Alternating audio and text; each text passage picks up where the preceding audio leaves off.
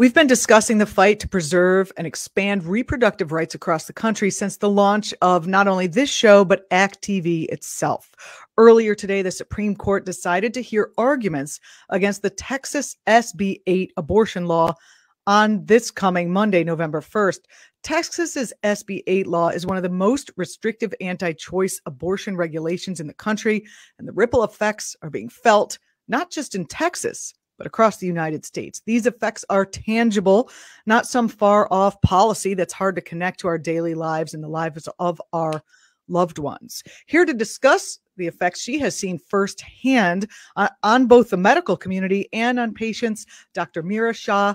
Dr. Shah is the Chief Medical Officer for Planned Parenthood in Hudson Peconic, the abortion an abortion care provider in New York and a fellow with Physicians for Reproductive Health. She's the author of You're the Only One I've Told Stories Behind Abortion. Dr. Shah, thanks for joining us on the program today. Oh, thank you so much for having me.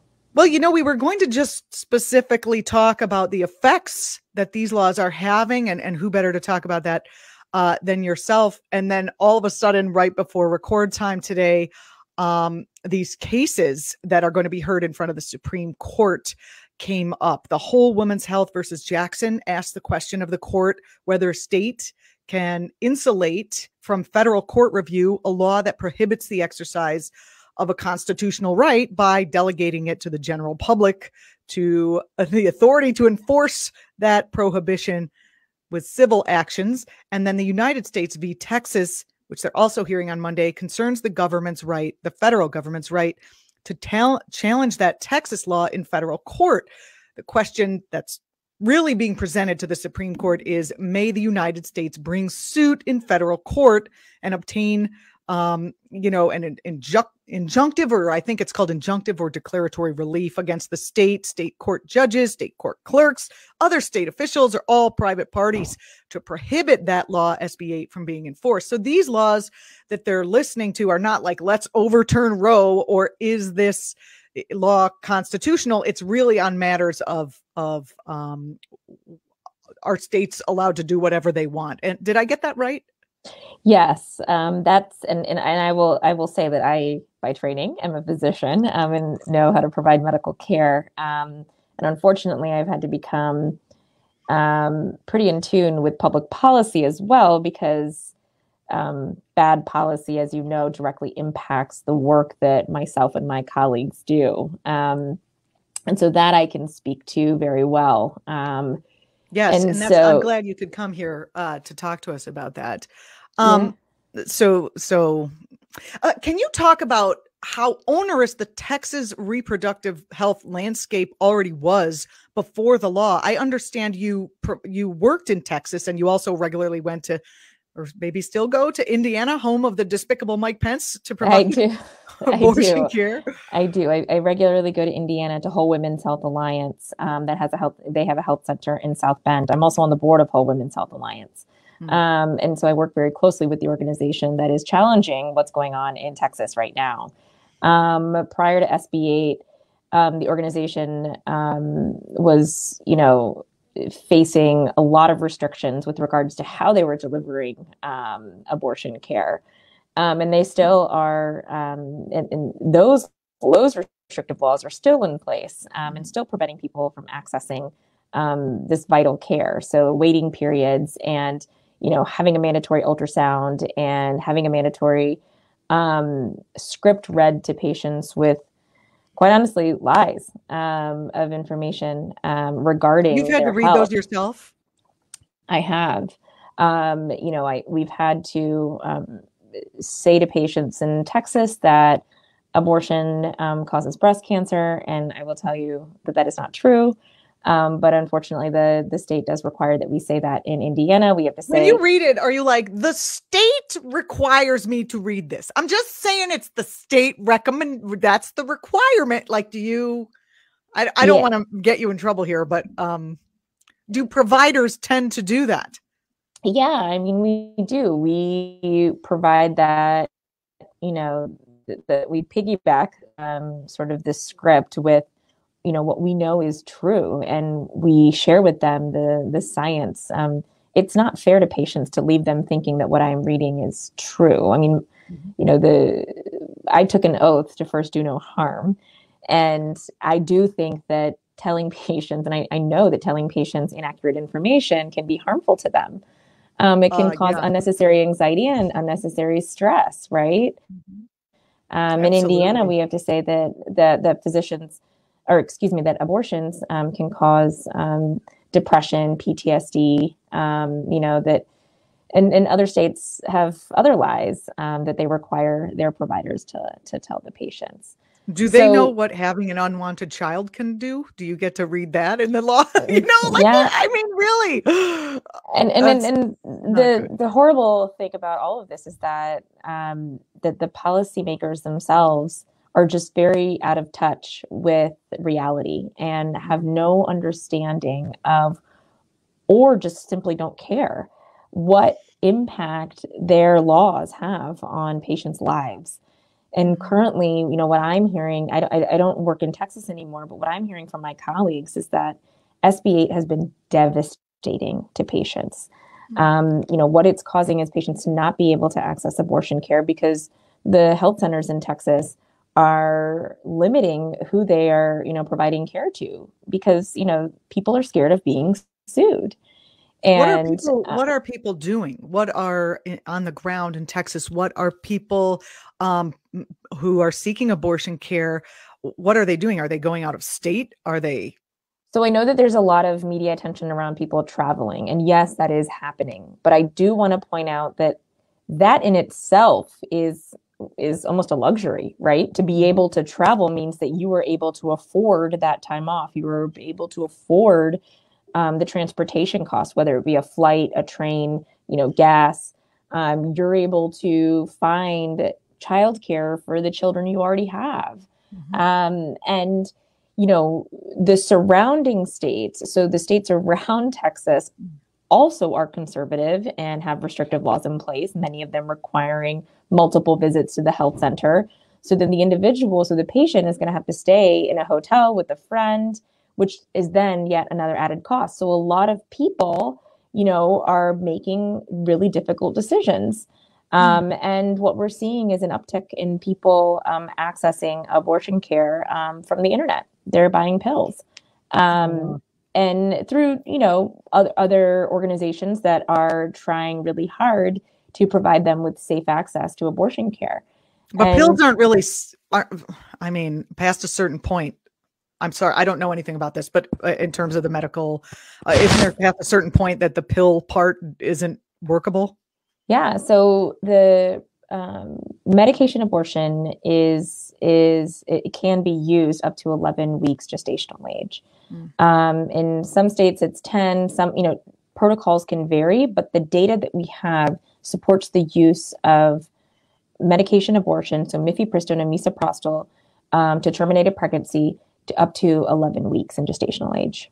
Mm-hmm. So, what you're alluding to is that some people, you know, are going to be pushed later in gestational age because of all of these laws, which we know was already happening. And then, you know, is there, is there a the danger range. to the mother's health or the woman's health or the pregnant well, person's health? Yes. I mean, if there is, if they aren't able to access abortion care, um, then you know that's going to increase the risk of you know depending on so if if of everything. Well i mean, I if, mean if, if it is something that an individual feels like they need or if there's a medical indication for an abortion then you know there's panic. I know um, i know that my one of my colleagues has shared with me that that he had a patient who who was undergoing um, um, cancer treatment and has six children and found herself to be pregnant and you know needed to terminate the pregnancy but she's already past this you know the mark or the point at which she could legally have an abortion um, in in texas. And let me i, I want to be very careful with, with the language that i use because the individual having the abortion in texas would not be prosecuted. It would be it's the people who were aiding and abetting, the people who are assisting that individual in having the abortion who could be sued. Um, but if people are scared of being sued, then and you know, and they're fearful, um, then that they're not going to be providing the abortion care or you know working at the clinics or even taking ubers or, or Mhm. driving the ubers to transport the patients to the health center um, and therefore the patients are then not able to access care What effect has this had on providers in Texas? And then I want to ask you about the ripple effects you've seen going on. Uh, You talked a little bit about this already in neighboring states for providers, um, or even as far as away, you know, both politically and and and physically in, in states as New York. Have you seen ripple effects on providers? Yeah, I mean, the my colleagues and close friends in Texas, I mean, aren't able to provide care. They're turning patients away, um, which is really hard, especially when you do this type of work. I mean, you're doing most of, you know, the the the providers that I know who are who are providing abortion care are so compassionate and so dedicated to this work because they really understand how important it is. Mm. And having to turn a patient away is really hard. Many people have gotten um, medical. I, I know one colleague in particular who's gotten a medical license in Oklahoma so that she can travel there to to kind of alleviate some of the burden that the providers in Oklahoma are now seeing, right? Because they are they are booked up, um, and they only have so many providers because, as you as you might know, there's a nationwide shortage of abortion providers, Mm. um, which is, for example, why I ha- why I fly to Indiana to provide care. Um, Um, and then we're seeing in New York, we've seen a couple patients come to us from Texas to receive procedural abortion um, and then fly back. But again, that's that's not the case It's for very everyone. Not it's very expensive. Not everyone is able to do that. Plus, you kind of have to risk your life now going on a plane. I mean, there's still COVID. There's there is. There yeah. is. Um, I know there's been lots of violence and threats of violence against abortion providers. Have we seen any impact from these restrictive laws going into effect on that? Well, I think that there's been a lot of um, celebration from the anti-abortion movement and a lot of threats and from neighboring states to copy what um, has happened um, in Texas. And what I can say is that you know that the federal government, um, the Department of Justice, you know, are they, they recognize how important it is to preserve access to abortion care, and they are trying to intervene quickly. Unfortunately not quickly enough because we've seen this go on since September 1st and the impacts are devastating because abortion is a time sensitive um, issue that needs to be addressed Mm. and should be addressed on the day that the person wants that care um, but that's just not the case and so you know there's there's been you know like i said st- neighboring states wanting to do similar similar work um, pass similar laws um, and so we really do need federal input um, on this issue so that we can protect abortion access. Do you have um, any specific? I think I find that the the audience who might be on uh, the fence or not really active in this fight, uh, they need something tangible, like really seriously tangible, much like what you did in your book. Um, the book is "You're the Only One I've Told." These are some stories behind abortion. Do you have any stories you might be ab- able to tell us from personal experience from of of? Um, I mean, I know obviously you're not going to out someone but uh, uh, of people you've cared for people your colleagues have cared for or your colleagues or yourself um, that really the audience can get a sense of exactly down to the granular level um, how these things are affecting individuals. Yeah, I mean, it's so, you know, when you talk about the people who are on the fence or maybe, you know, like to engage in sort of anti abortion rhetoric, when I hear that, I think, you know, I think that those individuals don't really understand what abortion means and what abortion access, Mm. um, it, how it can be so life affirming. Um, and so, one way to um, educate themselves is by reading my book um, or just talking about abortion openly, because I guarantee they know they know somebody, they love somebody who has had an abortion. More often than not, people have had one. Right, one in four women have had an abortion in their lifetime. Um, so it's but but it's more common to not talk about it than it is to talk about it. Um, and just recognizing that there is no typical abortion patient. They come people who have abortions come from every socioeconomic background, every um, racial, ethnic identity, religious background. Mm. Um, believe it or not, Christians have abortions, Catholics have abortions, Hindus, Muslims, Jains, you know, uh, Jews. every every type of in- person has an abortion and i think that people fail to recognize that mm. um, and that it an individual's decision to not continue a pregnancy should be their own um, and and and should be accessible without political interference. Um, and and I think it's really important that people try to educate themselves from reliable sources um, and and try to learn more because there's a lot of great information out there that myself and my colleagues are are advocating for and putting out there. So. I have a friend who's an abortion provider, and she once told me a story about a woman who literally was picketing um, the, I believe it was the Planned Parenthood, and then came inside for her own treatment, and then went back outside to the picket line so I've I've definitely um, cared for patients who I've cared for one um, patient uh, who is a frequent protester or was a frequent protester. She would come to our health center and protest. I did care for her, provide her abortion care, and I actually have not seen her out there again. Hmm. Um, I just yesterday cared for a patient who is applying. that's a whole. I'm sorry to pause you. That's a hopeful thought. that, yeah. Oh, well, maybe. Okay. I'm sorry. Go ahead. Go and ahead. that's actually really common in the human experience. That once we recognize that something is like, you know, that it's either Im- impacting us directly or to a loved one, all of a sudden it becomes personal and it becomes important and it becomes valuable enough to protect. And that's why I encourage folks to talk about it um, because again, I guarantee you know somebody or you love somebody who has had an abortion.